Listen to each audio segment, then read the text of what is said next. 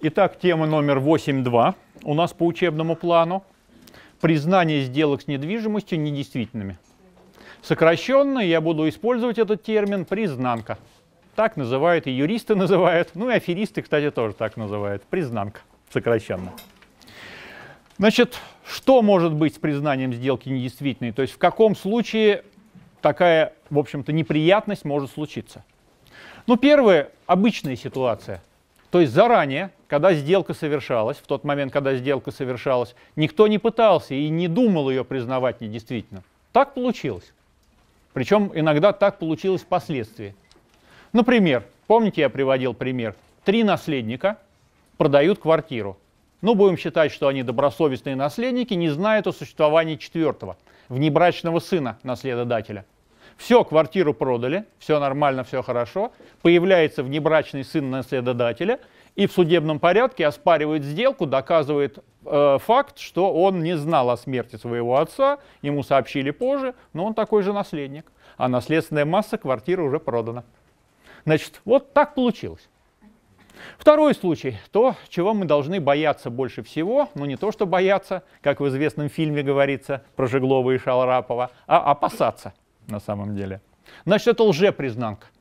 То есть это афера, причем квалифицированная афера, которая планируется заранее. То есть сделка проводится таким образом, чтобы потом ее в судебном порядке признать недействительной. Ну, возьмем давайте клон, но клон по сговору. То есть собственник вступает, как говорится, в преступный сговор с аферистом или там с группой аферистов, которые говорят, давай без тебя твою квартиру продадим, а потом ее отсудим назад. Ну давай, чего, денег-то не заработать. Только от тебя надо там в определенный момент, когда мы скажем, напиши заявление об утере паспорта. Он все делает, что нужно, подбирает двойника, подбирает внешне похожего, якобы он живет за границей, якобы он эту квартиру сдал, или даже там оформил договор доверительного управления, по которому оставил все оригиналы документов, и пошло-поехало. Конечно, такая сделка будет потом признана ничтожной, не имеющей юридической силы с момента ее, как говорится, совершения. Ну и, наконец, третья разновидность тоже имеет место быть. Просто потом вы должны иметь в виду, что такие квартиры отмываются, то есть выставляются на отмывку, на продажу. Так называемые экспроприации экспроприаторов. То есть, ну, классика жанра. Адвокат идет по улице, у него бомж просит подаяние. Он ему дает денег, значит, соответственно, ты что, квартиру свою там продал? Да вот у меня отобрали квартиру. Ну давай, как говорится, оформляй на меня доверенность, пошли мы тебя вымоем, приведем в порядок, оформляй на меня доверенность, я квартиру отсужу, потом либо тебе куплю комнату, либо, условно выражаясь, там денег дам. Ну давай, что, пошли. Значит, кто-то этого бомжа, естественно, обманул, кто-то его выгнал на улицу, а вот, как говорится, квалифицированный адвокат, причем есть адвокатские бюро, которые этим занимаются серьезно, отсуживает эту квартиру назад. У нынешнего, естественно, ее владельца, якобы добросовестного приобретателя. Ну или рента очень распространенная. Пожилой человек заключил договор ренты, ну опять-таки заключил не с близкими родственниками, а с посторонним человеком. Ну ему выплачивают, например, там 10 тысяч рублей в месяц. Хотя вы должны сразу из зала сказать, сейчас нельзя 10 тысяч рублей в месяц. Минимум, одна минимальный, минимум один минимальный размер э, значит, э, прожиточного минимума, не оплаты труда. А он сейчас по московскому региону 15,5. Ну ладно, ранее был заключен, было сказано 10 тысяч. Хотя и это можете мне возразить, значит, он должен индексироваться. И вот на этом, как говорится, есть тоже специализированные структуры, которые вот таких вот пожилых людей, с кем заключен договор ренты, значит, скажем так, обрабатывают и им заявляют, мы вам будем платить не 10 тысяч, а 20. Мы вам еще дополнительно вклад на вас откроем, значит, миллион триста в банке под 8,5% годовых, вы еще 7 тысяч будете получать проценты со вклада ежемесячно. И пошло-поехало. Значит, соглашаются, да, договор ренты расторгает. Вот, например, вы заключили договор ренты с пожилым человеком, они сами договор ренты расторгают, основания для этого найдутся. Ну, а потом, конечно, судьба этого пожилого человека незавидная. Срок доживания не более года. Ну ладно, давайте к нашим баранам. Значит, итак, как, каким образом совершается признание сделки недействительным, где у нас сказаны основания совершения признания сделки недействительной, какие статьи Гражданского кодекса ведают какой, соответственно, схемой. То есть мы будем рассматривать как схема обобщенная, статья Гражданского кодекса, условия признанки, признания сделки недействительной и реальные кейсы, которые были на практике, то есть на что мы должны обращать внимание. Обычно всегда на что обращать внимание, я прямо на доске рисую восклицательный знак, такой символ. То есть это вот самое важное, наверное, на что нужно обращать внимание. Значит, так, если мы откроем ГК, если вы хотите, откройте у себя, у кого есть планшеты, у кого есть ноутбуки, в гарантии или в консультанте. Откройте, начиная со статьи 160, вот просто тупо вбейте 160 ГК РФ. И все последующие статьи, которые будут, потому что если вы открываете целую, целую соответственно, главу, вот начиная со статьи 160. Ну, я по старинке бумажный ГК буду использовать в этом случае. Значит, у кого э, планшеты, ноутбуки есть, откройте, значит, чтобы у вас перед глазами был текст, была формулировка. Потому что текст, естественно, мы зачитывать не будем. Значит, если посмотреть статью 166 ГК, то у нас есть два основания ничтожности сделки. То есть, извините, недействительности сделки. Как раз оговорился, оговорился. Ничтожность сделки. Давайте вот здесь напишу, такую небольшие две колонки. Ничтожность сделки и оспоримость сделки. Оспоримость сделки. Ну, конечно, безусловно, среди нас здесь юристы присутствуют, юристы знают ответить, ответ на этот вопрос. Все-таки что хуже, ничтожность или оспоримость сделки? Ничтожность. Для того, против кого, естественно, применяется признание сделки недействительной. Конечно, ничтожность. Но, опять-таки, юристы, профессиональные юристы это знают. Значит, здесь есть одна такая тонкость. Значит, ничтожная сделка ничтожна, недействительна сама по себе, уже по факту. То есть суд в этой ситуации только применяет последствия ничтожности сделки. А вот оспоримая сделка, она именно оспаривается. То есть неизвестно, какое решение примет суд, оставит сделку в силе или нет. Это состязание сторон, состязательность сторон адвоката со стороны, условно выражаясь, продавца, адвоката со стороны покупателя, ну и, конечно, неангажированный будем считать судья. Если судью ангажировали, ну, сами понимаете, к чему это приведет. Так что оспоримость на самом деле это получше. То есть есть шанс все-таки отбиться от этого. А вот по ничтожным сделкам, если суд, конечно, применит последствия ничтожности сделки, все очень и очень кисло. Об этом чуть позже. Итак, давайте сразу запишем все статьи, все статьи ГК, какие у нас относятся к ничтожности, какие относятся к оспоримости. Итак, ничтожность. 163, 164, потом можно будет сфотографировать, я отойду от доски. Так, э, э, с крайних рядов видно, вот таким вот я пишу. 168, часть вторая. Значит, что у нас еще относится к ничтожности? 169 172, 174 1 прим, то есть точечка 1 это новая статья, которую ввели позже, она называется прим, 174 1 прим или 174 1. И 181 5, 181 5 прим. Значит, вот это у нас ничтожные. Оспоримых больше на самом деле. 100, 168 часть первая. 173, 173 1 прим, 174, 175-179, 181 4 прим и 183. Сейчас я отойду. Соответственно, можно сфотографировать. Ну или давайте еще раз я назову вот как раз вот, да, вот где оспоримый, может быть, это плохо видно, 168 часть первая, 173, 173 1 прим, новая статья, 174, от 175 по 179, 181 4 прим и 183. Это, соответственно, у нас оспоримые сделки. Это, соответственно, вот мы их выделили как раз специально черным цветом. Это ничтожные сделки.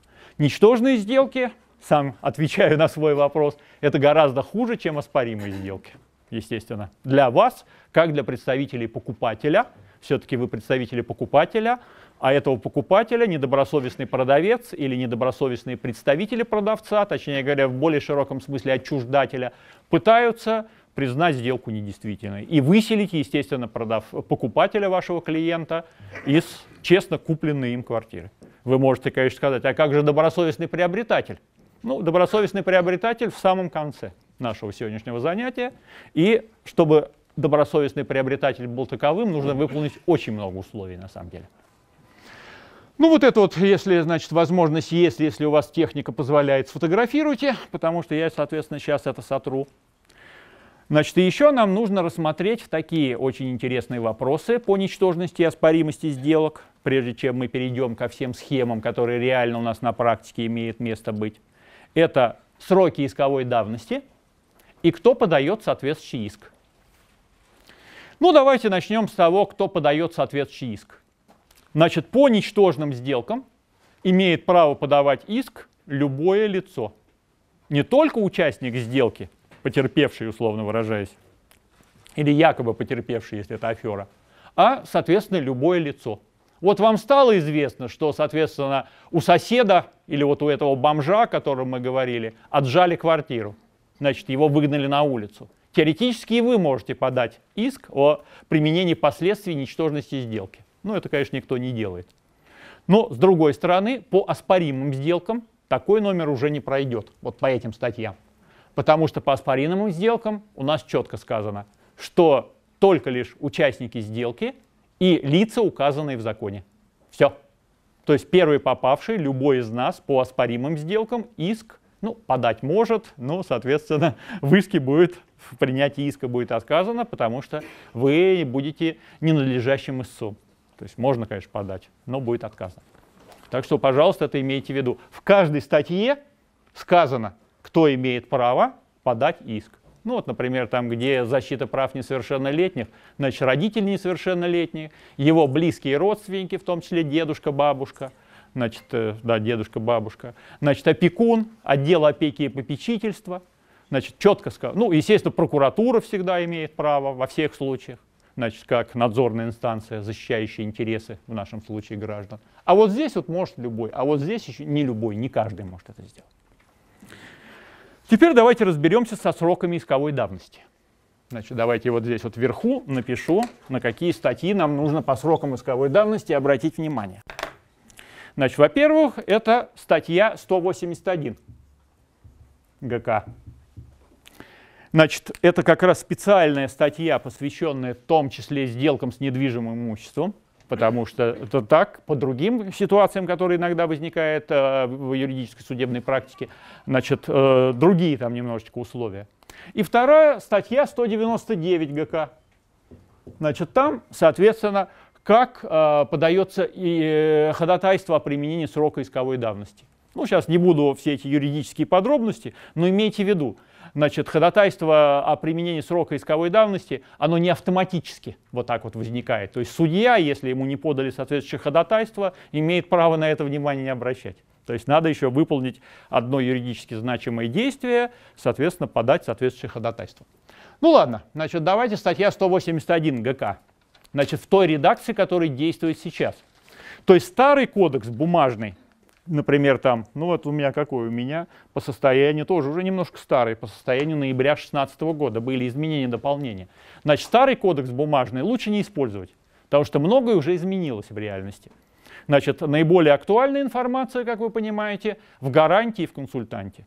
Ну, мы об этом уже неоднократно говорили. Практикующие риэлторы должны в первом приближении и на мобильных, э, и на, на мобильных устройствах, и, естественно, на стационарных устройствах уметь пользоваться гарантом и консультантом. Если вдруг не умеете, в любом поисковике тупо статья 181 ГК РФ. Вас сразу выкидывает на консультант, обычно в базе консультант первый стоит, ну или где-то там посмотрите гарант.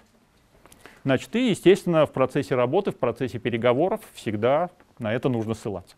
Итак, сроки исковой давности. Значит, ну вы, наверное, знаете, все, наверное, вы знаете, что общий срок исковой давности у нас 3 года. Но, одно маленькое но.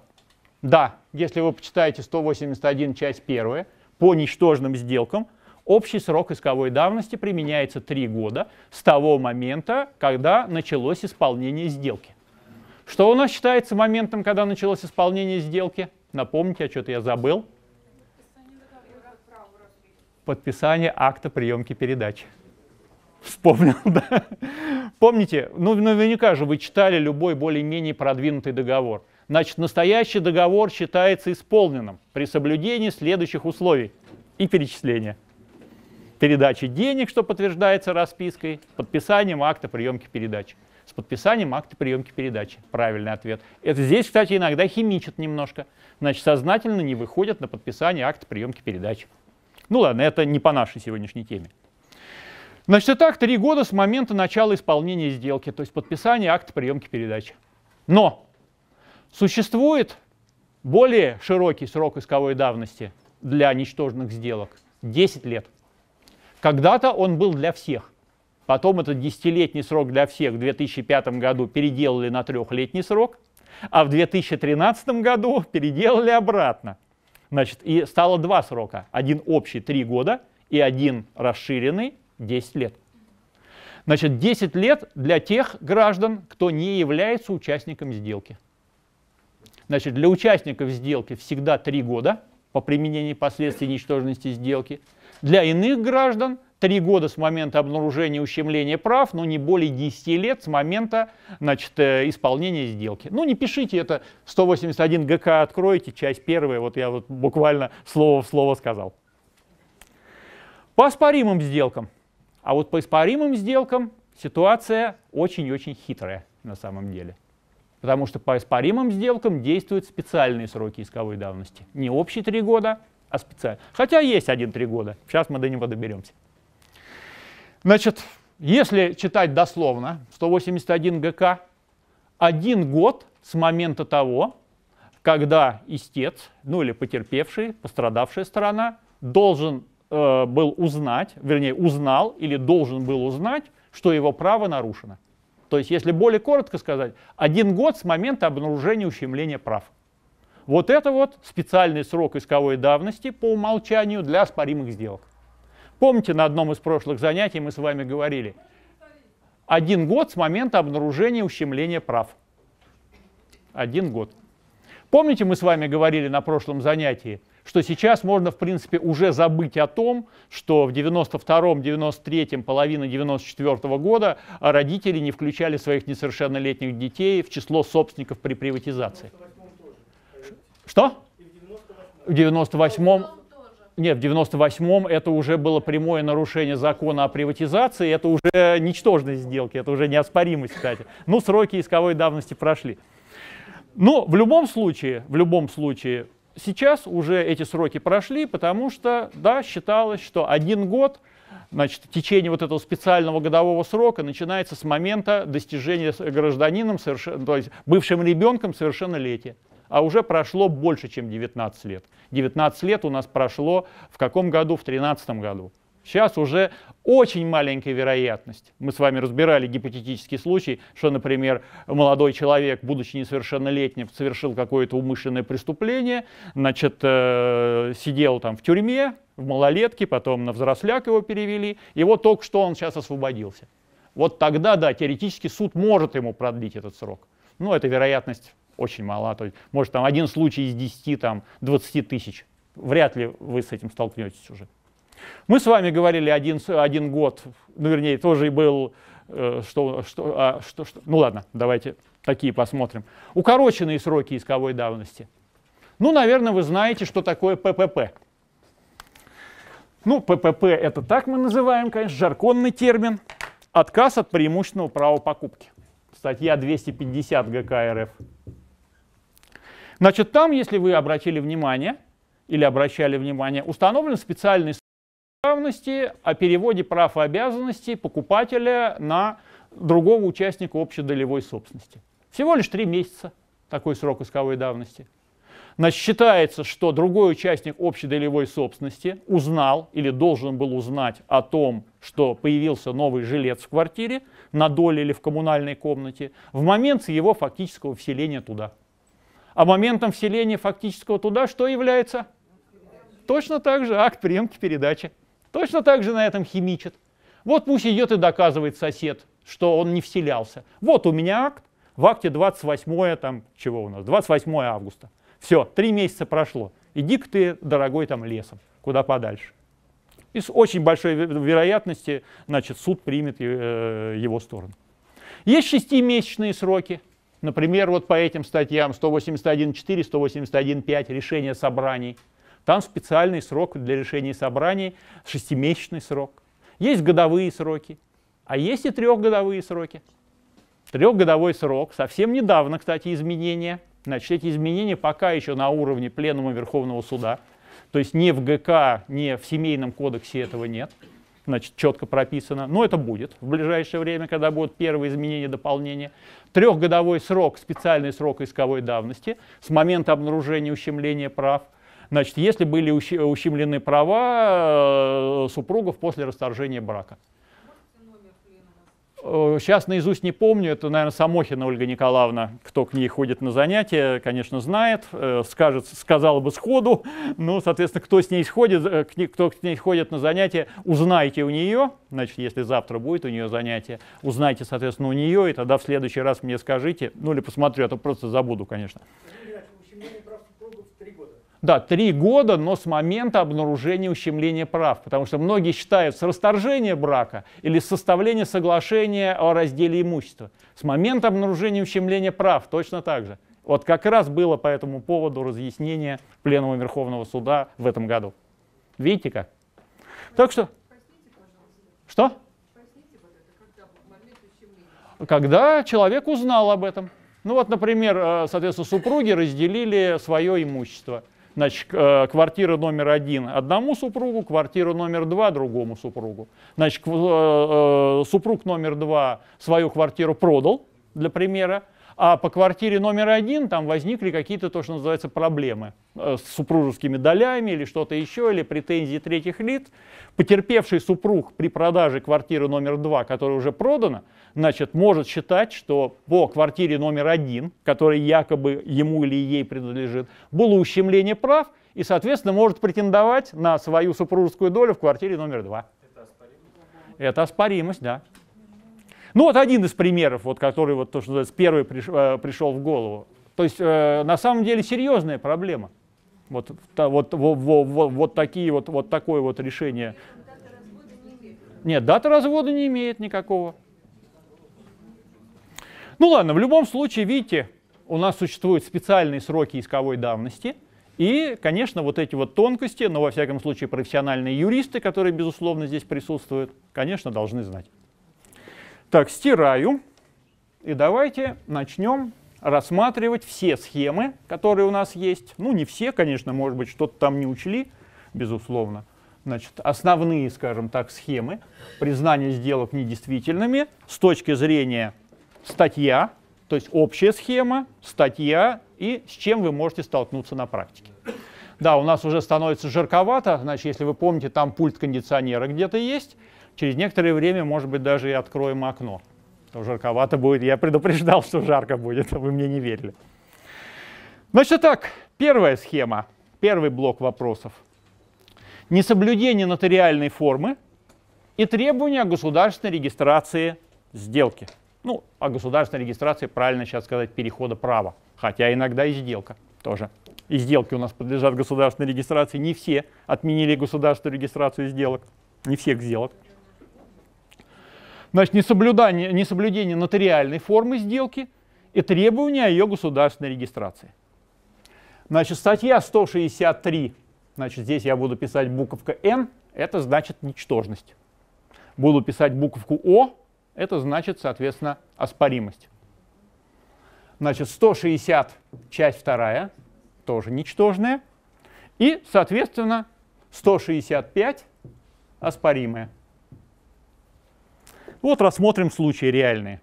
Итак, 163 ничтожность. Несоблюдение нотариальной формы сделки.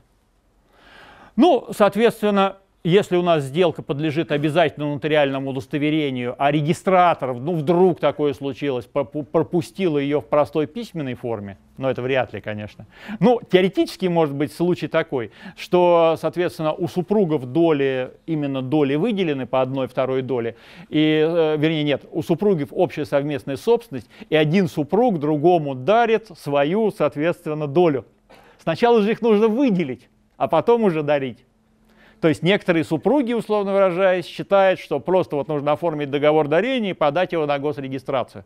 Вот как есть, я, соответственно, супруг, даю свою долю в общей совместной собственности. Одно свидетельство, одна выписка, значит, другому супругу.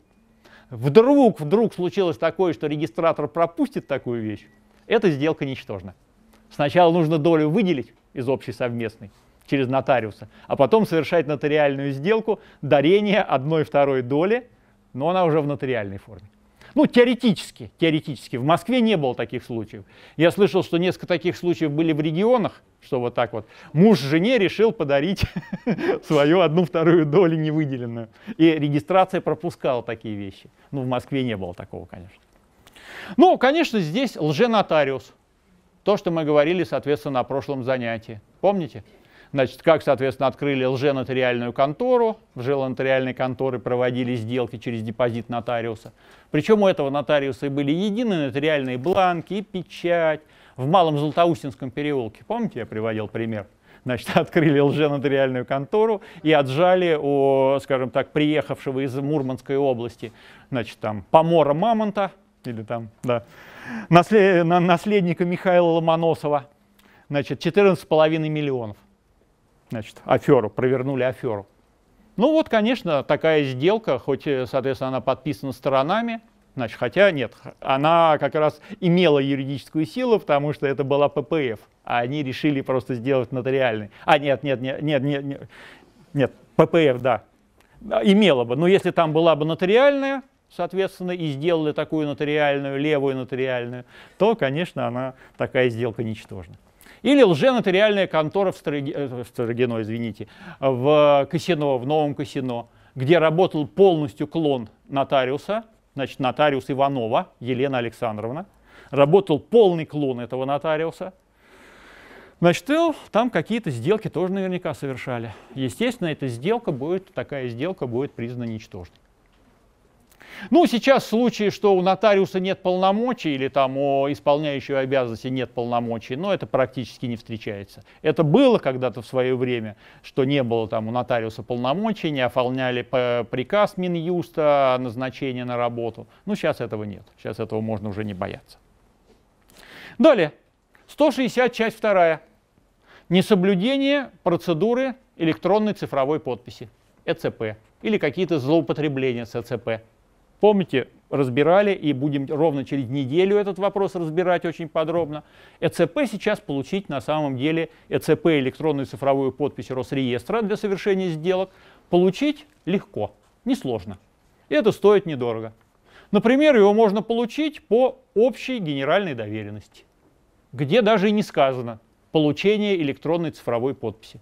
Проверен на себе, лично на себе еще в том нашем учебном потоке я специально на мою жену сделал общую доверенность, ну там совершение всевозможных сделок.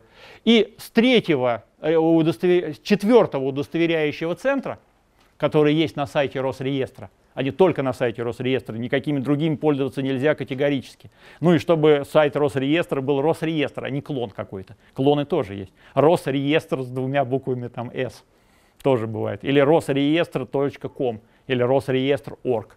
Такие тоже есть, если вы обратите внимание. Он внешне ничем не отличается от, так, от настоящего Росреестра. Значит, итак, в четвертом по списку, да, в трех не приняли, сказали, у вас нет в общей доверенности, в генеральной доверенности полномочий, что вы своему супругу, ну, у меня еще с супругой разные фамилии, но все равно свидетельство о браке-то есть, есть. Значит, в четвертом ей оформили на мое имя электронную цифровую подпись Росреестра по общей генеральной доверенности, где не было полномочий, я не давал полномочий оформить электронную цифровую подпись. Что? Да, да.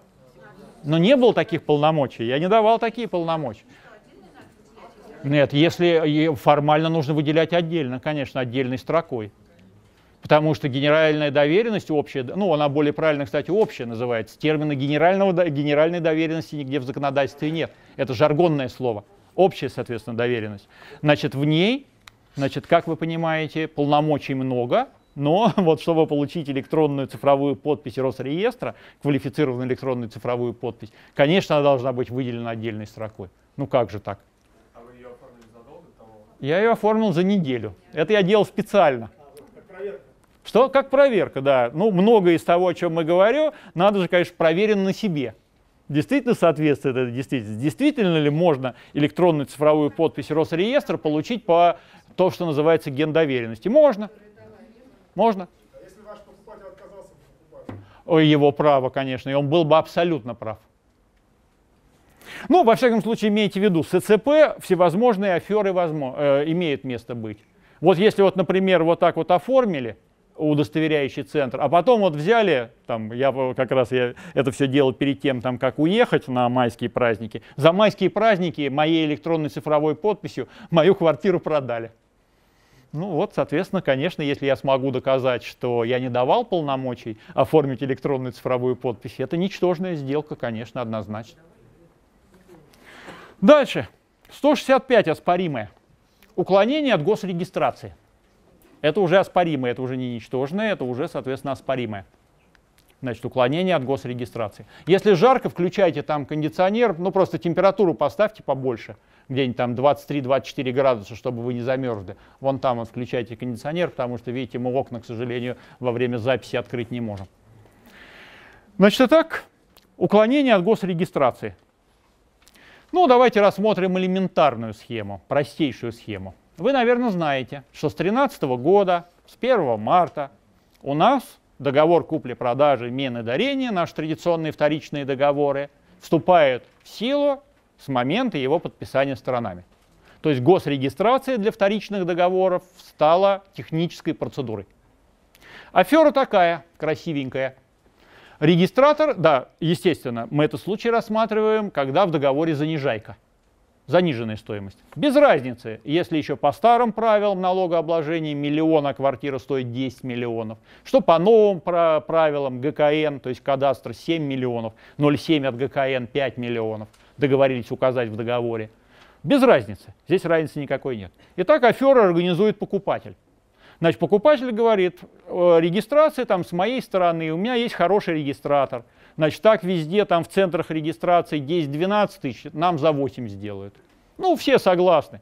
И риэлтор со стороны продавца, что, да ради бога, хлопот меньше, бегать меньше, если у него есть возможность. Все, зашли в банк, все нормально, все хорошо. По какой-то причине в банке тормозится подписание э, договора ячейки. Возможно, там это специально сделано чтобы вас так помурыжить немножко, чтобы вы там бдительность притупили немножко. И приезжает регистратор. Была такая сцена? Ну-ка давайте быстро, у меня, соответственно, сегодня еще 5 клиентов, вот здесь подпись, здесь подпись, здесь подпись, быстренько давайте расписывать, все, я побежал. То есть в этой ситуации продавец подписал договор купли-продажи до закладки денег в ячейку. Дальше рассказывать или сами догадываетесь? Да, конечно, потом продавец побежит, как подорванный в этот же день а, в Росреестр на Тульскую, если это для Москвы. Значит, отозвать регистрацию, никакие документы я на регистрацию не сдавал. Ну и ради бога. Пожалуйста, кстати, тоже не так просто сделать делали тоже совсем недавно, что нужно в срочном порядке было написать, правда, не при остановке, а об отмене как раз доверенности. Приехали на Тульскую в экспедицию в 17 часов 15 минут, э, да, в 17 часов 15 минут за час до окончания работы. А там говорят, а мы не принимаем сейчас заявления никакие. Сейчас только через МФЦ Даниловский. Вот идите в МФЦ Даниловский, там подавайте. А тут была совершена афера, значит, реальная афера. Нет, э, реально написали, там было, кстати, заявление о возражении. Реально написали, но клиент, ну, которого обманули мошенники, он там просто скандал устроил. То есть его там уже охранников вызвали, его собирались выводить. Ну, все-таки, э, скажем так, приняли к сведению обстоятельства и приняли у него заявление. Кстати, в МФЦ Даниловский для перестраховки пошли. Ну, там до 8 часов, там нормально все работает. Ну, в любом случае, вот такие вот вещи имеют место быть. То есть, да, пусть бежит. А мы со стороны покупателя подаем иск о принуждении его, точнее говоря, понуждении его государственной регистрации. Он же подписал договор. Подписал договор. В договоре сказано 5 миллионов, 0,7 от кадастра. Сказано 5 миллионов. Чего ты хочешь? Какие тебе 10 миллионов? Вот 5 миллионов в депозит суда, все, подавись. Вот такая простенькая афера. Так что, пожалуйста, давайте нарисуем треугольничек. Значит, никаких хватай мешки вокзал уходит. Значит, пока деньги не заложены в ячейку, значит, никаких, соответственно, подписаний договоров быть не должно. Это очень распространенная ошибка. Ну что еще? Бывали случаи, редко бывали случаи, что можно сюда подвести. Это выхватывание расписки. То есть, опять-таки, мы с вами говорили, еще будем обсуждать этот вопрос по поводу расписок. Вот вы представляете интересы продавца. Продавцу предлагаете, естественно, написать расписку. Продавец пишет расписку, всю полностью, своей рукой, все нормально. Продавец там никакая не старушка божия, одуванчик, который там как-то трясущейся рукой что-то пытается написать. Вполне нормальный, адекватный там человек пишет расписку.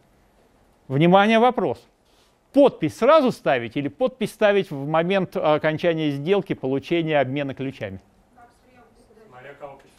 Нет, мы представляем сейчас продавца. В обмен на ключи, да, правильный ответ в обмен на ключи, потому что теоретически у вас расписку могут выхватить, то есть просто подбежать и выхватить. Такие случаи были. И бывали случаи, несколько раз был случай, что расписку ну, не подменяли, вот ворох вот этих вот документов валяется, и там как-то эту расписку они, покупатели, щемили сразу. Были случаи такие. Так что лучше, конечно, подпись поставить, да, когда уже получаете ключик, значит, тоже как восклицательный знак пометьте. Да, то как договоритесь, вообще по умолчанию окончанием регистрации плюс там один-два дня. Да, да, да, просят, да, чтобы была она подписана. Ну, тогда просто за ней, конечно, нужно очень тщательно следить, чтобы ее, то, что называется, не потырили у вас. Но это как раз разговор будет через два дня, то есть в четверг, у нас будет тема, хотя мы ее э, открыто не объявляли, ну, будет у нас, соответственно, тема, она будет называться э, значит, «Дорожная карта сделки» и, соответственно, э, «Системы безопасных расчетов» в четверг. Сейчас не будем подробно. Тут вот есть место еще, если хотите, вот стульчик здесь есть. В этот четверг, да? В этот четверг, то есть послезавтра. Продолжение, ну, не продолжение, мы немножко отвлеклись. Да, Подумайте для себя, сделайте вот так вот, подумайте для себя. Я э, этот вопрос ставлю, как говорится, в дискуссионном порядке, потому что мне немного и в соцсетях, в пабликах обсуждается все это. А если у нас аккредитив или искроу, нужно требовать с продавца расписку или нет?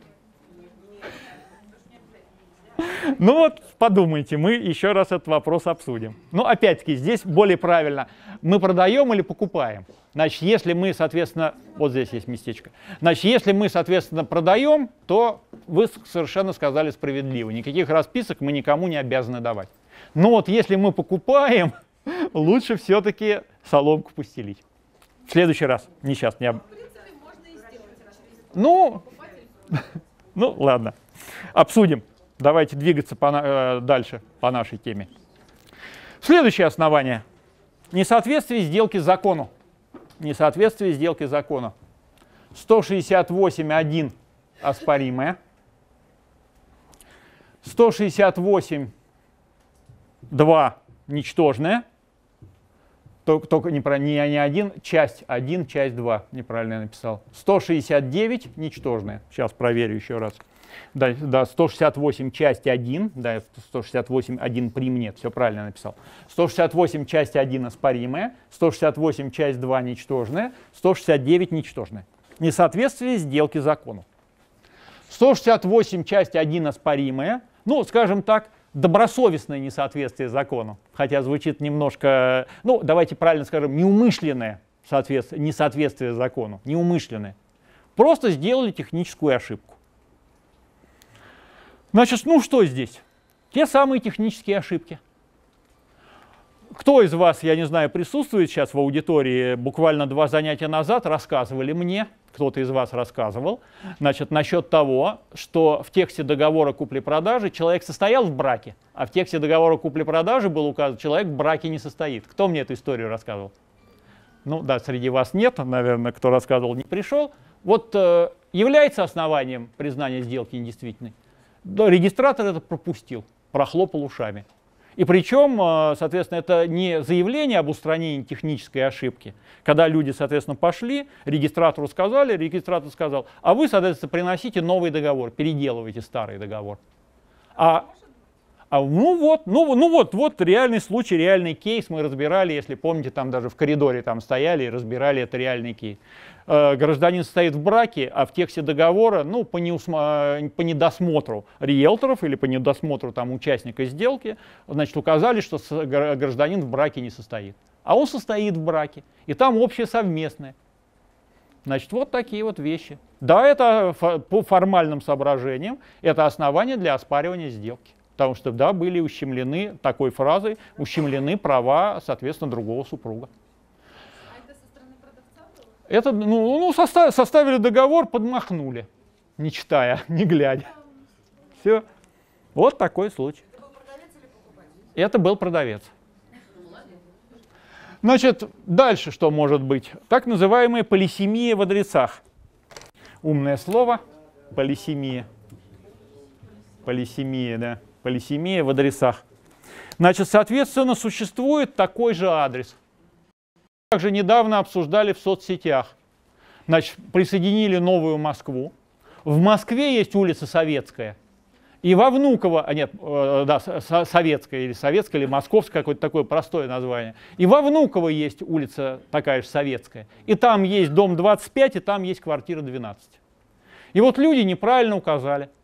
Значит, город Москва, Внуково забыли указать, улица Советская и далее по тексту. Значит, хотя в Росреестре был указан правильный адрес. Ну, им повезло, им сделку приостановили. Они говорят, а вот у нас адрес такой. Москва, улица Советская, дом 25, квартира 12. Город, э, то есть поселок Внуково не указано. Сейчас же это муниципальный район Москвы, он уже давно муниципальный район, не с 12 года, а еще там очень-очень давно уже муниципальный район Москвы. Вот полисемия в адресах. Ну или сам... Нет, приостановка, все поправили, все нормально. Ну, регистратор увидел это. А так тоже, да, формальное основание признания сделки недействительной. Ну или у меня в практике был случай. Улица Макаренко, дом 8, корпус 2, строение 2, квартира 8. Строение 2 не указали, а там есть строение 1. И в строении 1 тоже есть квартира 8. Вот такой, такой случай был. Так что, пожалуйста, очень и очень внимательно. По строительным адресам то же самое. Сами знаете по новостройкам, какие там строительные адреса бывают. Третья секция с угла там улицы риэлторов и пересечения улицы риэлторов и улицы пирамиды строителей. Значит, это все основания, да, формальные основания, но основания. Но это просто вот элементарная внимательность. Да, это оспоримости, да, это не ничтожности, слава богу. Раньше, кстати, было ничтожности. С 13 года вот их разделили, вот эта часть первая, часть вторая. Значит, соответственно, ничтожность сказано очень хитро. Нарушение публичных интересов третьих лиц. То есть если э, добросовестная ошибка, какая-то добросовестная ошибка, то есть неумышленная ошибка, привела к нарушению публичных интересов третьих лиц. Единственное, где использовали, значит, во время ночей длинных ковшей. То есть, когда, соответственно, сносили вот эти ларьки, у них же у всех было свидетельство о праве собственности на руках, выдано государственной организацией, хотя там публично заявляли наши власти, что это коррупционные и прочее, прочее, прочее, прочее, что это оргпреступные группировки этнические строили, вплоть до этого заявляли. Но вот как раз лазейки находили именно, именно вот как раз по 168 части 2. Значит, э, публичные интересы третьих лиц, под ним проходил трубопровод или там кабель, то, что называется высоковольтный кабель. А это интересы третьих лиц, потому что этот высоковольтный кабель за, за, запитан на соседний дом. А наличие этого ларька или там этого павильона быстро возводимого, пирамиды на Тверской, если помните, значит, не позволяет выполнить ремонт, и тогда там будет обесточен весь квартал. То есть находили лазейку, и вот это вот основание было на самом деле. Нет, не то, что их там по беспределу ковшом сносили ну, вернее, сносили ковшом по беспределу, а потом уже задним числом все это находили, все эти основания. Ну ладно, редкий случай, так что пока, видите, нет. 169. Ничтожность. Значит, злонамеренное нарушение закона. Ну, это, естественно, подделка документов в любом виде подделка документов, подделка правоустановки, то есть неправильно я не, неправильно сказал, не документов, подделка правоустановки, именно подделка правоустановки. Конечно, если сделка будет совершена по поддельным правоустанавливающим документам, она ничтожна. Это понятно. Значит, другой случай по дублигатам документов тоже можно подвести. Помните, мы с вами тоже обсуждали, еще будем обсуждать, что сделка завершилась, оригиналы документов по предыдущей сделке остались у продавца на руках. Вы их не погасили никак, ничего там не написали, никакой там уголочек не отрезали, остались у продавца. Продавец может несколько там авансов по ним получить, как минимум, а может еще раз продать. Тоже ничтожная, естественно, сделка. Так что такие ситуации бывают, или вот еще что обсуждали, кстати, интересный случай – тоже мы его обсуждали, если помните. Значит, э, согласие отдела опеки и попечительства, в котором сказано, одновременно э, отдел опеки и попечительства дает разрешение продать э, долю несовершеннолетнего ребенка с одновременным покупки квартиры в новостройке по договору долевого участия в строительстве. Как с одновременным, как вы это сделаете, вот объясните мне, как можно одновременно купить еще, соответственно, э, квартиру в новостройке по договору долевого участия в строительстве. Значит, самый известный нотариус, самый квалифицированный, я никогда под запись не называю ничьи имена, ничьи фамилии, отказался совершать такую сделку. Ну, нотариус известный, который на Дмитровке. Эти люди переделали, переделали, все переделали. Но могло же случиться, что опека там, то, что называется, встала на упоры, и могли сделать подложный. То есть, потому что Росреестр проверяет документы из опеки только по исходящему номеру. Вот в опеке есть исходящий номер, какой-нибудь там 7708, там 118, там где 17. Вот только по этому исходящему номеру проверяет. Было ли выпущено такое, э, ну, естественно, разрешение опеки, это распоряжение главы э, муниципалитета соответствующего района, а не опеки. Значит, и там бывали случаи, что, соответственно, бланк подделывали, он на в сети напечатан, сделать можно, не проблема. Номеронабиратель на обороте этого бланка, барабанчик этот подделывается элементарно. И принесли с формулировкой не одновременно, а в течение месяца. Формально это тоже подделка правоустанавливающих документов. Правда, пойдет не по этой статье, по 171, э, извините, 173.1. Значит, э, ненадлежащее получение разрешения государственных органов. Ну, сейчас до этого еще доберемся. Да, сейчас проверю еще. Я новые просто не все наизусть помню. Да, 173, 1 примс, то есть 173.1. Сейчас доберемся до нее. Значит, ну что здесь еще? Конечно, однозначно двойники. Значит, по всем двойникам ничтожная сделка, причем ничтожная сделка с односторонней реституцией. До этого мы еще с вами доберемся. По лжерегистрациям ничтожные сделки. Значит, сделка не зарегистрирована, не прошла госрегистрацию. Значит, ну, судиться, но если, соответственно, смогут доказать в данной ситуации, что сделка не прошла госрегистрацию, то, конечно, эта сделка будет признана ничтожной. То есть просто на договоре купли-продажи поставили штампик и по такому липовому документу вскрыли ячейку, продавец скрыл ячейку. Конечно, это считается ничтожная сделка. Так что здесь оснований на самом деле много, ну как раз ровно через неделю, значит следующий вторник, следующий четверг, два занятия, двойное у нас будет, экспертиза документов. Самое наше, как некоторые почему-то наши слушатели, друзья в Фейсбуке говорят, чумовая тема. Причем пишут чумовая с буквой А посередине. Чумовая. Ну ладно, это еще все впереди. Значит, давайте к нашим баранам. Мнимая и притворная сделка. Мнимая и притворная сделка. Значит, статья 170 ГК, мнимая и притворная сделка, она ничтожна, то есть это ничтожность сделки. Вот давайте разберемся, что у нас, то есть статья 170, мнимые сделки, притворные сделки. Оснований очень много. Значит, мнимая сделка – это сделка, совершенная только для виду, без создания каких-либо юридических последствий для сторон.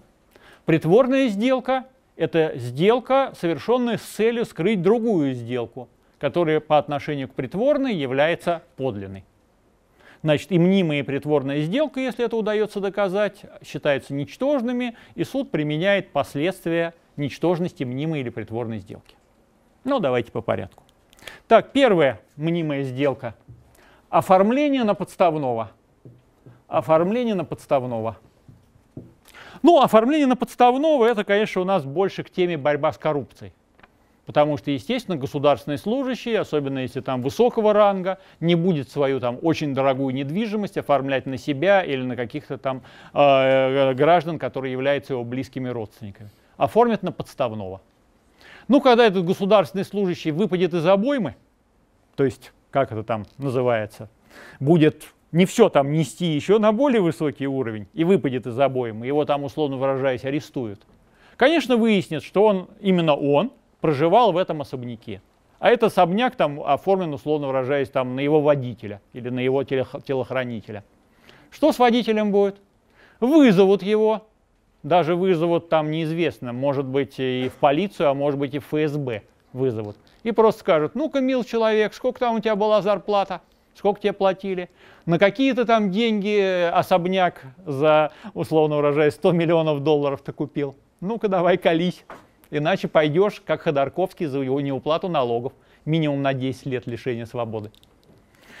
Ну, в любом случае, понимаете, о чем идет речь. Конечно, по иску прокуратуры такая сделка будет признана ничтожной. Типичная мнимая сделка.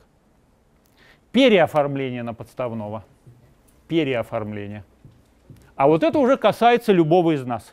Не дай бог, не дай бог.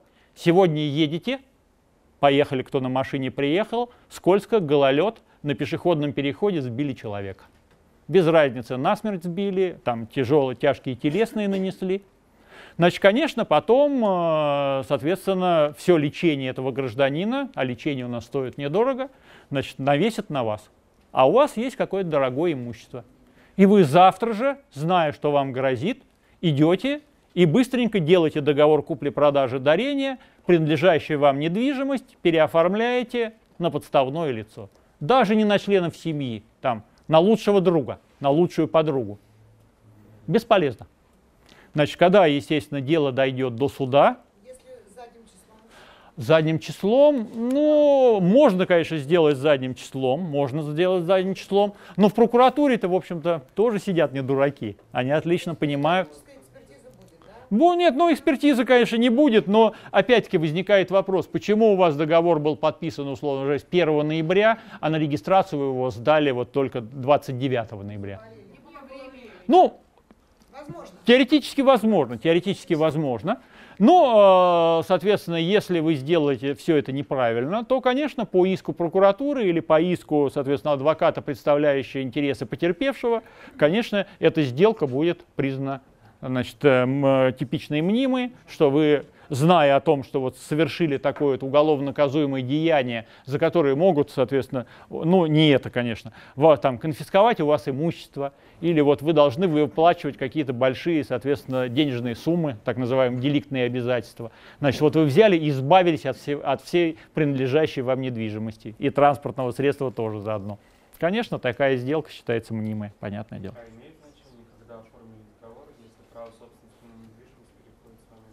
Нет, с момента, естественно, подписания договора, но, как я уже говорил, в прокуратуре тоже сидят не дураки. Ладно, давайте дальше. Любая муниципальная сделка, продажа муниципальной квартиры. Помните, мы с вами рассматривали случай через регион, через фиктивный брак, через сводного брата и прочее, прочее, прочее. То есть муниципальная квартира продается, но она же муниципальная, ее же нельзя продавать. Она же а, оформлена гражданина по договору соцнайма, а он ее пытается всеми кривыми способами продать. Если поймают, ну, чаще всего стуканут соседи, особенно если это комната в коммуналке, что вот продали муниципальную комнату левым каким-то кривым путем, значит, напишут в ту же самую прокуратуру, то, конечно, в данной ситуации все основания признания этой сделки мнимой, все налицо. Сделка будет, естественно, ну, не признана ничтожной, будут применены последствия ничтожности сделки. Так, еще редкий случай, но иногда встречается, просто имейте в виду в коммерческой практике. Обременение залогом, антирейтинг. То есть, анти, анти, то есть муниципальное давайте напишем. Антирейдинг. Антирейдинг. Защита от трейдеров. От трейдеров. Значит, э, какая-то коммерческая структура, ну, то же самое там, да, да ладно, даже на физике оформлено, на физическое лицо – значит, оформлено какое-то крупное, дорогое нежилое помещение. Собственник боится, что придут рейдеры. Для этого, зная там как-то более-менее э, в любом банке, даже в небольшом банчке, там какого-нибудь руководителя на уровне зампреда и выше, говорит, давай я у тебя возьму фиктивный кредит, оформим кредитный договор, я его быстро погашу кредит, а залог мне не снимай, пусть висит залог. Если вы так сделаете, это типичная мнимая сделка на самом деле. Нет, залог, э, то есть э, у нас, если, соответственно, полностью обязательства по кредитному договору выполнены, значит, и не снят залог, это основание э, применения последствий ничтожности мнимой сделки, потому что это было видно, что, конечно, это был технический кредит, чтобы вот так вот... Это можно, да, это можно. То есть тут есть, да, да, тут, тут есть лазейки, но рейдеры, кто занимается, как говорится, слияниями, поглощениями, рейдерскими захватами предприятий, они эту лазейку знают. Значит, вот это как раз основание для признания сделки мнимой. Дальше, притворные. Ну, классика жанра дарение э, вместо купли-продажи. Дарение вместо купли-продажи. Ну, вы, наверное, знаете, это у нас делается для обхождения ППП. Ну, может быть, конечно, теоретически дарение э, вместо купли-продажи и просто совершено, но это с точки зрения налогов невыгодно. Дарение вместо купли-продажи. Значит, несоблюдение процедуры ППП, тот уже в явном виде. ППП – это отказ от преимущественного права покупки. Значит, вот сосед, один из соседей, вот его просто нет. То есть вручить ему нотариально заверенную оферту по определению невозможно. Никто не знает, где он. Он не числится пропавшим без вести. Просто никто не знает, где он живет. Куда оферту отсылать? Если он явится, у него возникает тот самый трехмесячный специальный срок исковой давности о признании, э, о переводе на него прав и обязанностей покупателя. А у вас не вышел налоговый период. Вы не можете, соответственно, указать в стоимость этой доли рыночную стоимость. Вы делаете занижайку там. Ну, представьте себе, вот что делать? Дарение да, оформляем дарением, но если сосед явится и он сможет доказать, что дарение было притворная сделка, такая, естественно, сделка является ничтожной. Микродоли уже знают по этому поводу, то есть микродоли тут номер уже не пройдет, микродоля будет тоже признана притворной сделкой. Точно так же. Значит, дальше. Оформление боковых сумм. Боковик.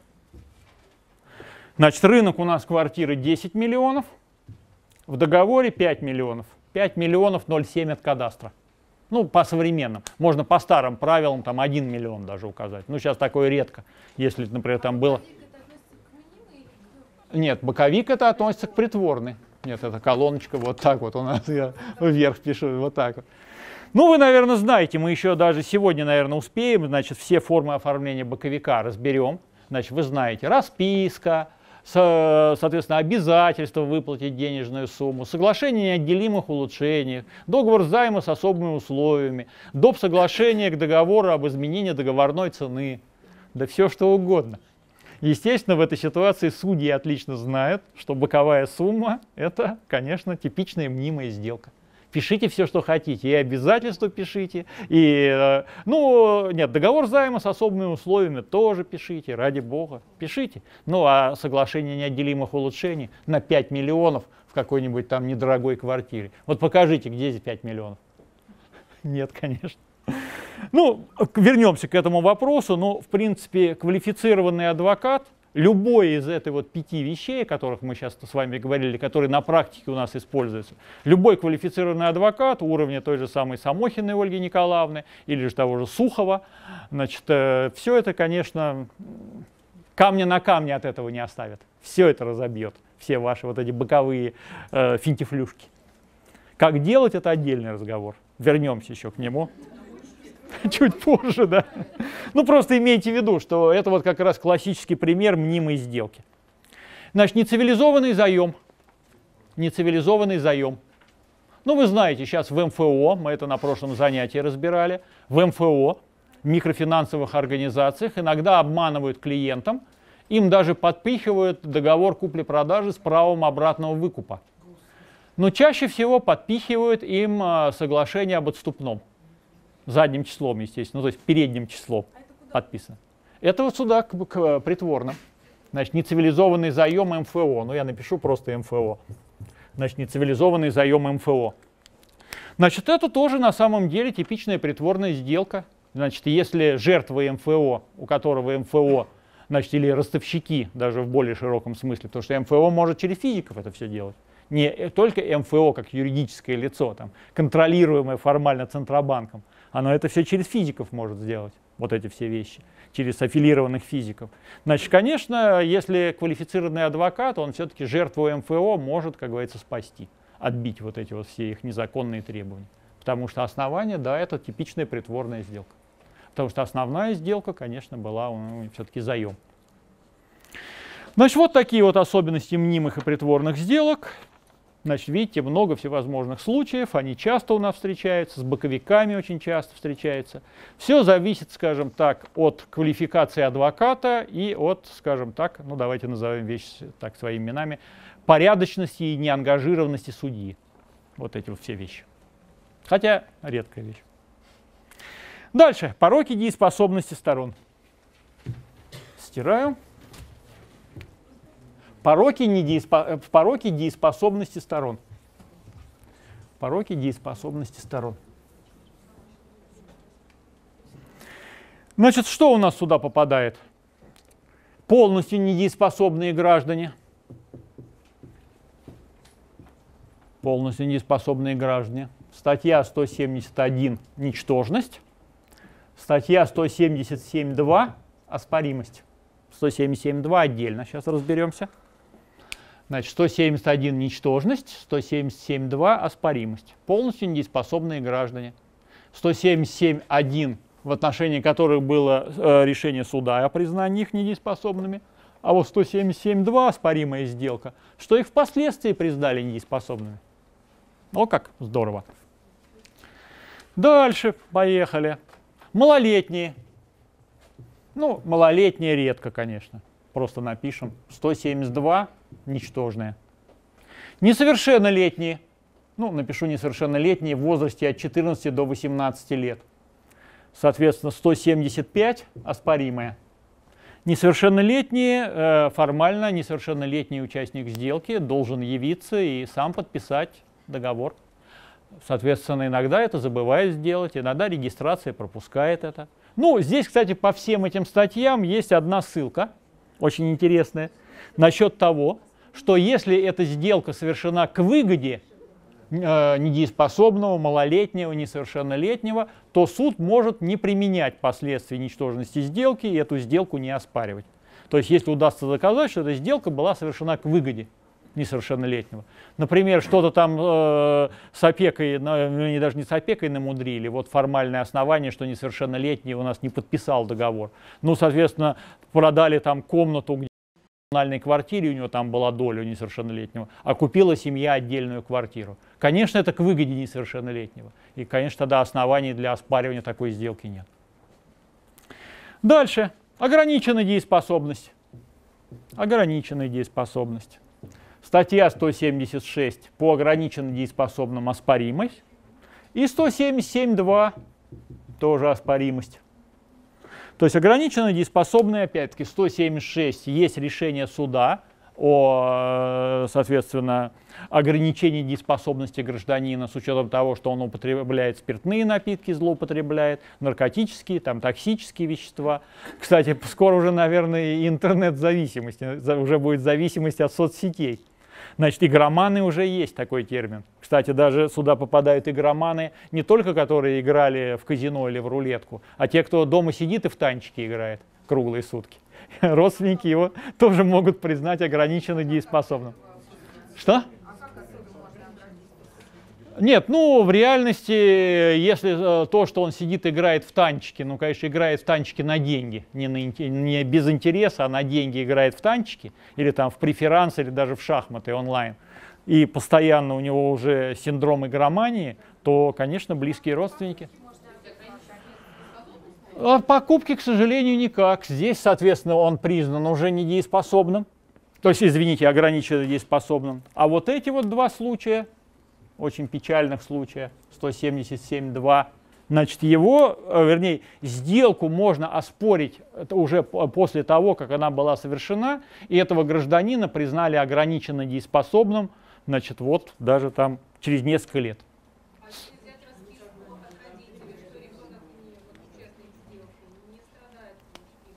Нет, э, тут, э, тут мы не про ребенка говорим, мы тут говорим про абсолютно взрослого человека, ограниченно дееспособного. То есть вот представьте себе, сейчас гражданин абсолютно нормальный, адекватный. Прошел год-два, он, соответственно, оказывается алкоголик.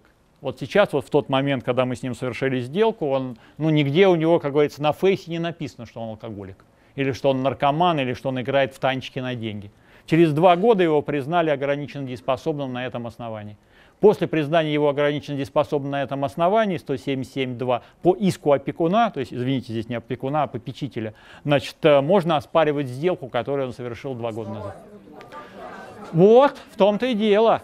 И это, кстати, это, кстати, у нас появилось на самом деле, это у нас появилось только с 1 марта 2015 года.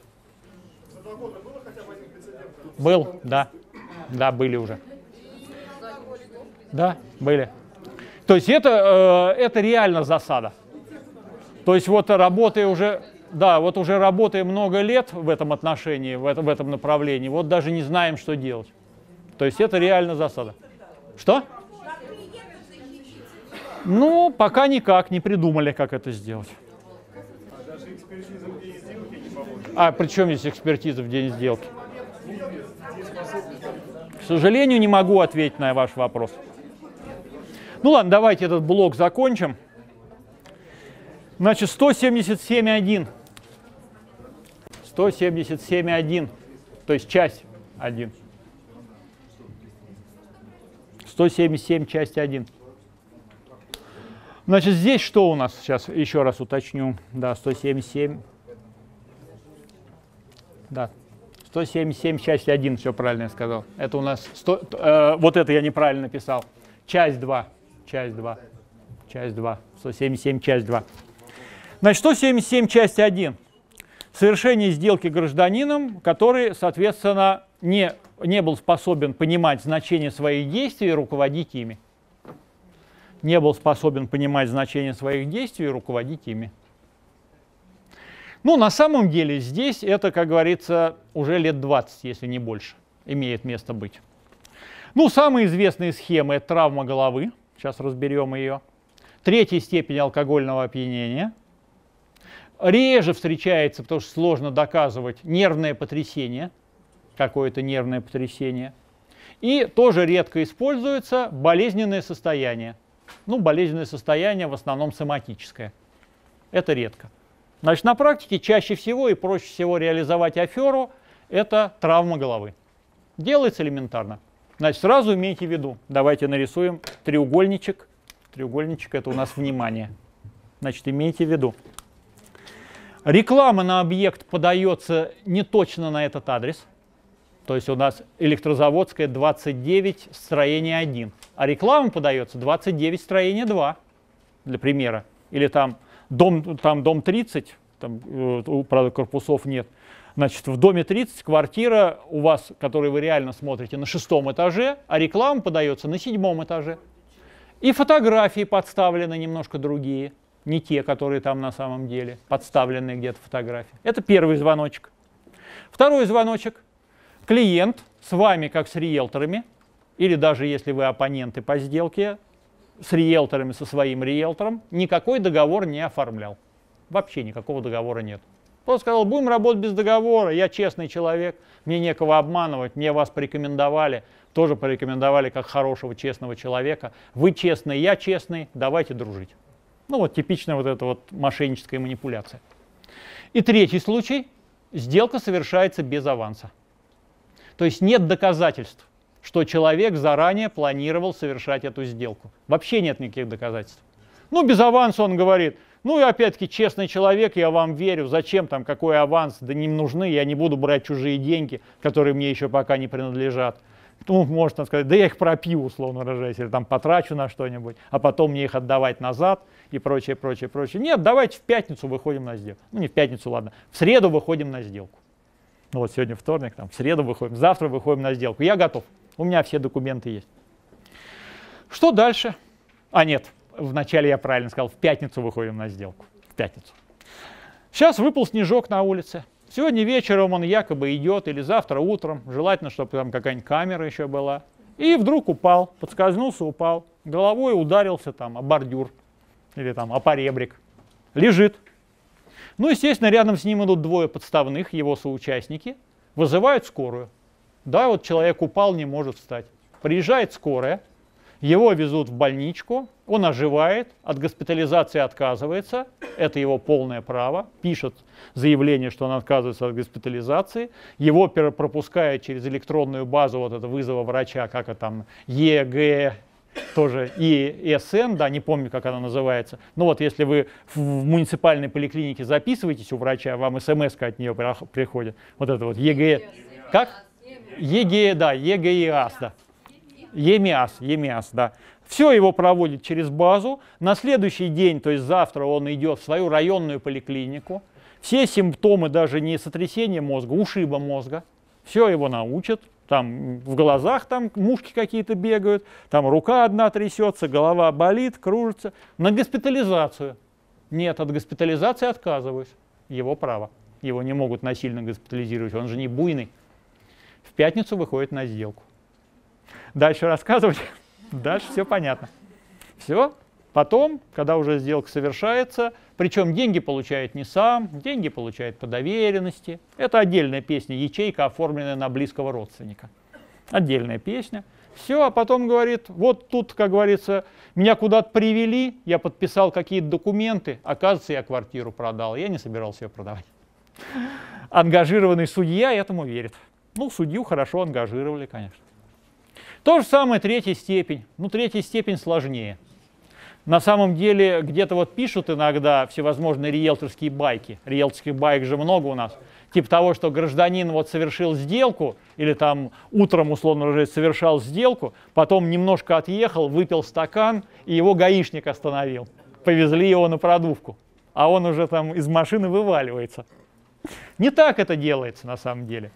Значит, на самом деле гражданин может день в день, может заранее сказать, я могу присутствовать на сделке 2 часа. То есть вот давайте на 9 там банк открывается, ну вот пол одиннадцатого мне надо уехать, потому что начальник мне поручил обязательно встретить, соответственно, в аэропорту там иностранную делегацию. Или мне на дачу привозят стройматериалы. Или мне там надо маму забирать из больницы. То есть я нахожусь на сделке там час-полтора. Ну, естественно, вы как люди цивилизованные, вы должны знать, что если такой начинается разговор, сделку надо переносить на следующий день. То есть участники сделки должны быть в этот день полностью свободны, чтобы ни у кого не было никаких планов. Потому что, извините, продаете там не корову, там ни бублик, ни кофточку, ни дырку от бублика, продаете квартиру, так что давайте оставим все планы, чтобы никаких планов у нас не было. Ну вот, если вы его отпустили, Опять-таки, да, а деньги из ячейки-то как? Ну вот, э, брат придет, на брата я оформлю доверенность, он там все подпишет. Вот давайте, где там договор подписываю, все, я побежал. Ну и все. Дальше рассказывать. Значит, были случаи, когда муниципальная скорая помощь ему ставила капельницу с физиологическим раствором, со спиртом прямо в вену. Сейчас муниципали э, это никогда не сделают. Ну, у нас же есть коммерческие скорые, которые занимаются вытрезвлением. Точно так же стоит эта машина за углом, якобы он тут валяется в канаве, якобы его там какие-то сердобольные люди подняли, погрузили в эту машину, значит, в 10.30 он вышел из банка, в 11.15 он в наркологичке, в наркологии третья степень алкогольного опьянения, абсолютно никакой. Причем все нормально, то есть ему просто пока его везли, ему поставили капельницу, только не с водой, не с водкой, естественно. Там надо рассчитать пропорцию, все как правильно, знает, как это делать. Все, в 11-15 он полностью никакой, в хлам. Камера в банке? Камера да. Выключает камеру в банке. Не в каждом банке камера. Так что здесь все делается правильно. Ну, это, вот это вот реже встречается, потому что это сложно сделать. Чаще всего травма головы.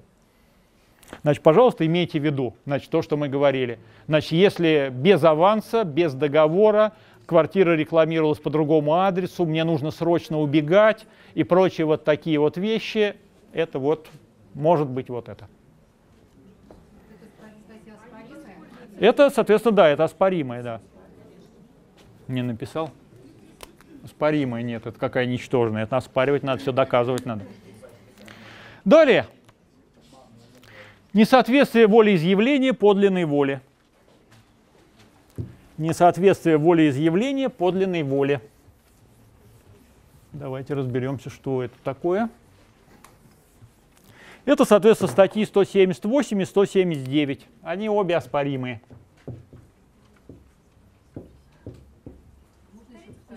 Несоответствие волеизъявления подлинной воле. Несоответствие волеизъявления подлинной воле. Статья 178, кстати, в новой редакции она совершенно другая по сравнению с тем, что было раньше. Вот с 2013 года новая редакция. Она стала очень большая, эта статья, и все перечислено, по пунктам прямо перечислено, что сюда попадает. Так что внимательно почитайте, даже если у кого сейчас есть э, технические устройства, прямо сейчас посмотрите, в перерыве, может, посмотрите. 178. Значит, совершение сделки под влиянием существенного заблуждения – Классика жанра. Что сюда попадает под 178-ю? Приватизационные хвосты. Они же отказники, они же отказники. Приватизационные хвосты. Человек отказался от участия в приватизации. При продаже квартиры подает иск, именно подает иск о признании приватизации недействительной, об оспаривании приватизации. Потому что, естественно, в этой ситуации продажа квартиры, где он зарегистрирован и когда-то имел право на приватизацию, значит, приведет к тому, что он останется без жилья. Это действительно, что, то есть он соверш, от, давал отказ от приватизации, существенно заблуждался по сути вот этих возникающих правоотношений. Да, пожалуйста.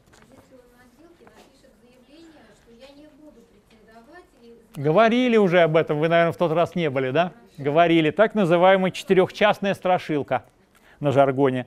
Я такой-то, такой-то добровольно отказался от приватизации. Мне известно о продаже квартиры там моим братом, условно выражаясь.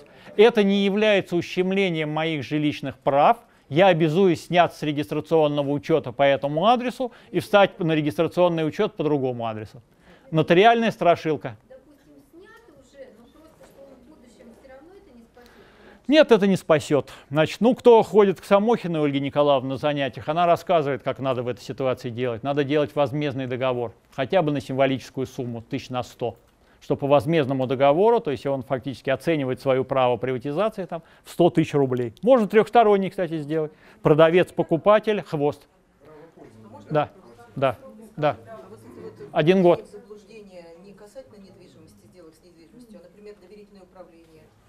Тоже можно, да. Ну, по доверительному управлению редко. Нет, были, были случаи по доверительному управлению, но там опять-таки, да, там расторжение договора доверительного управления или расторжение, например, договора аренды или там договора найма. Но чтобы по доверительному управлению продать в собственность кому-то. Нет, здесь возмездный договор, если, соответственно, собственник один, собственник один, то можно в простой письменный. Если отказников два, но у них же нет доли. То есть э, в законе 172 ФЗ, который печально известный от 2 июня, да, можно ППФ, да. Ну, главное, чтобы он возмездный был, хоть символическую какую-то сумму, ну и расписку. Ну, сейчас это очень долго рассказывать, да, это мы просто, да. Ну, просто имейте в виду, что здесь нужен возмездный договор с хвостом, а иначе хвост в любой момент, он же сохраняет право пользования. Что? Да, расписку обязательно. Это отдельно договор, правильно? Да, да, да. Если он, у отказника есть еще собственность, то его все равно Все равно, да. Что? Ну, отказался, раз отказывается Один собственник, да. он умирает. Наследует его... Нет, уже нет. Потому что это право пользования, да, конечно. Только право Да. Дальше. Рента. Пожизненное содержание с иждивением. То, что мы с вами говорили в самом начале – с бабушкой был заключен договор ренты 10 тысяч рублей, и все.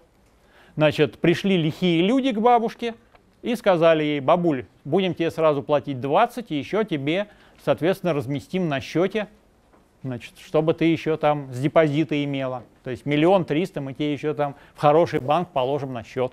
Еще 7 тысяч будешь иметь в месяц. Расторгается, естественно, договор, особенно не ренты в чистом виде, а договор пожизненного содержания с иждивением. Его расторгнуть гораздо легче, чем договор ренты на самом деле.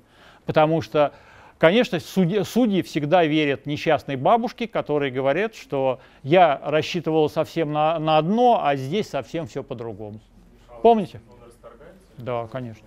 Он, нет, он, он оспоримый, это оспаривать его надо. Помню, нет, ну, вы, наверное, знаете, известная старушка-разбойница, она все-таки сейчас покинула мир иной, который четыре раза, старушка-разбойница, ее знают с улицы Вавилова, с улицы Гарибальди, это был угловой дом, его, кстати, снесли.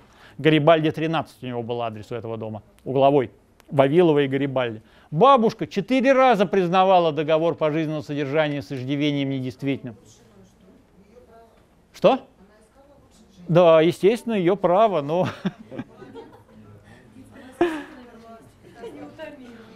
Да, да, конечно.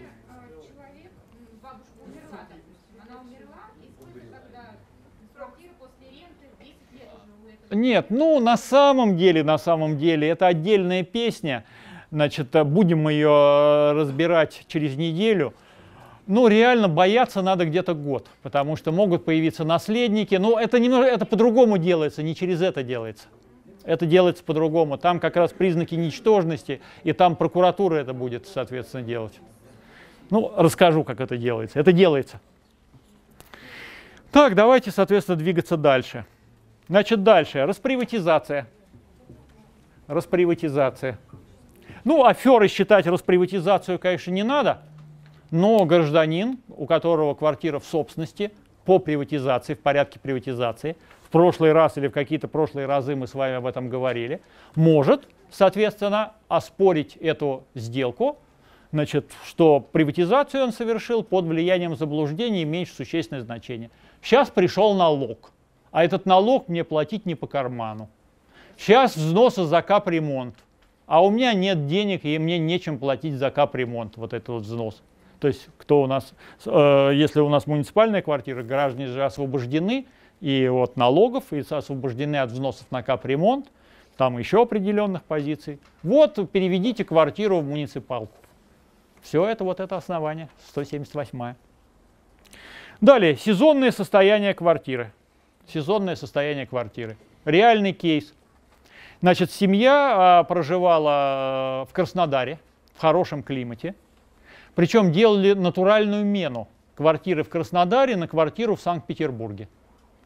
Значит, делали потому, что там в семье, ну там семья была неполная, то есть мама и двое детей. Старший сын, соответственно, поступил в военно-морское училище в Санкт-Петербурге, и они сделали мену Краснодар на Санкт-Петербург.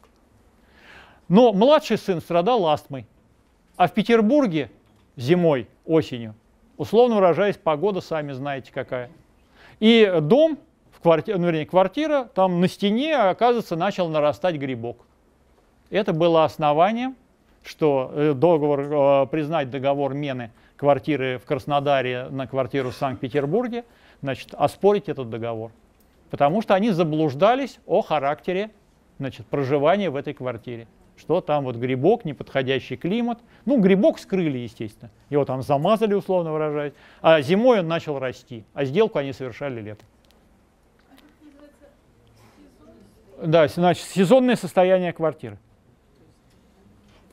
Значит, еще, кстати, давайте нарисуем восклицательный знак. Вот здесь нарисуем. Говорили уже об этом, еще поговорим. Значит, для квартир Дома не рассматриваем. С домами это очень спорный вопрос, потому что сейчас, конечно, покупателей на дома нет, и собственники домов готовы на любых условиях, только чтобы у них дом купили. По квартирам. Категорически не рекомендуется пускать в квартиру пожить нового собственника до подписания акта. Некоторые идут на поводу, что типа того, что все, вот у нас право перешло, да, да, пустите меня пожить, я там готов даже платить приходит в квартиру, а там скрытые недостатки. Значит, например, вот реальный как раз кейс, естественно, хозяин, новому собственнику об этом никто не говорил, этажом ниже живет псих, который в 2 часа ночи начинает стучать металлическим предметом по батарее. Днем он спит, а ночью он каждую ночь стучит по батарее металлическим предметом. Он псих. Вот он, 100, я уже стер. 171, как говорится, часть первая. Он псих. Все. Это, соответственно, да, существенный недостаток квартиры. И э, это были основания для оспаривания сделки. Да. Что? Нет, нет, после подписания это гораздо сложнее сделать. Но если он не подписал акт, вы же, как представитель покупателя, э, значит, да, договор у нас считается неисполненным, его там можно оспаривать, соответственно, ну, есть пути, как его оспаривать, но если он подписал акт, теоретически это тоже возможно, потому что Питер на Краснодар акт, естественно, был подписан, но там было в явном виде вот эта сезонность. А тут этот псих, видите, существенный недостаток. Он, он тоже может э, Да? быть, а Да. летом опять не Да, летом может не быть, да. Ну, просто к чему разговор? Что пока акт не подписан, пускать вот сюда вот кого-то, ну, не надо это делать. Так, ну давайте коротко, соответственно, 179 тоже оспоримое. Совершение сделки под влиянием обмана, насилия, угроз, кабальная сделка, злонамеренное соглашение сторон. То есть, если почитать статью 179, перечислено очень много всего. Но на самом деле большинство не работает, слава богу. Значит, так, совершение сделки под влиянием, соответственно, обмана и насилия. Обман у нас это будет статья 159 УК, мошенничество. Насилие чаще всего это будет 163 УК, вымогательство. Соответственно, заявить можно все, что угодно.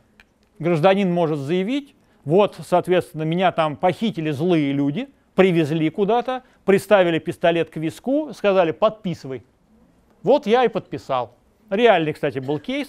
Значит, говорил так, что меня завели в какое-то там помещение, я смотрел альтернативную квартиру, меня куда-то завели в какое-то помещение, значит, там приковали чуть ли там не наручниками к батарее, и открыли, э, соответственно, чемоданчик, в котором были хирургические инструменты. И сказали, мы тебя сейчас резать будем. Я испугался, меня переклинило, я подписал все, что мне сказали. Нет, это в простой письменной. Договор купли-продажи в простой письменной форме, да, его квартиры. Что?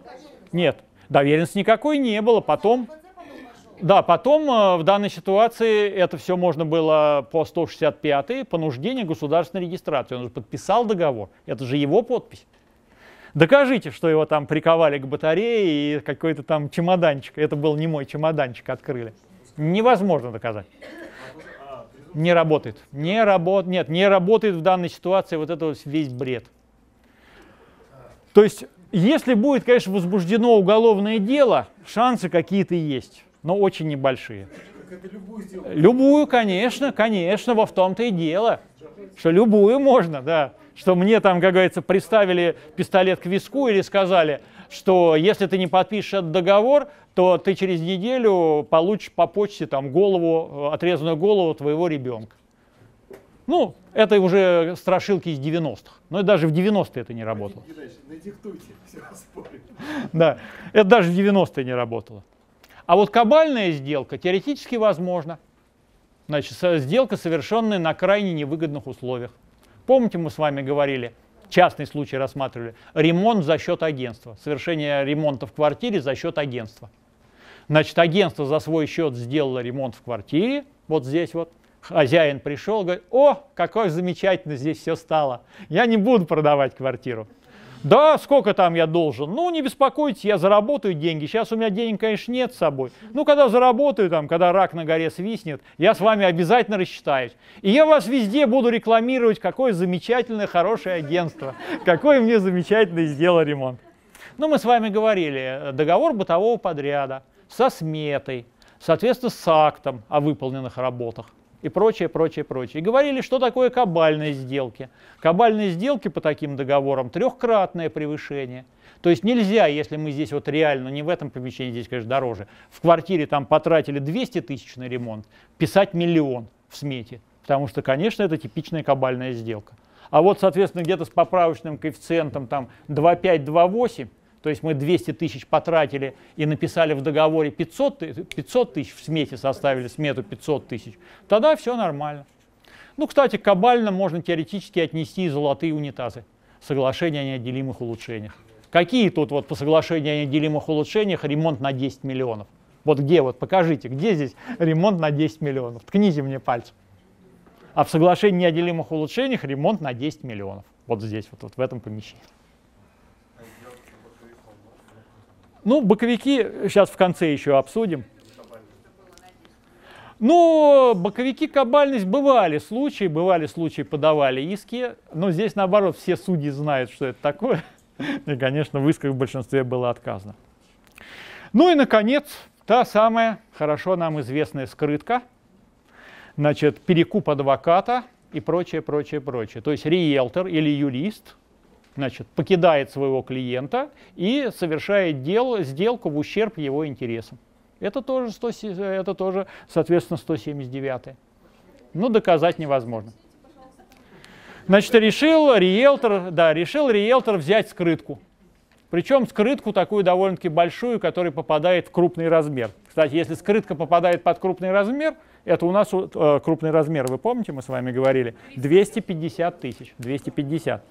250 тысяч, то скрытка под крупный размер, крупный, крупный размер попадает под статью 165 УК.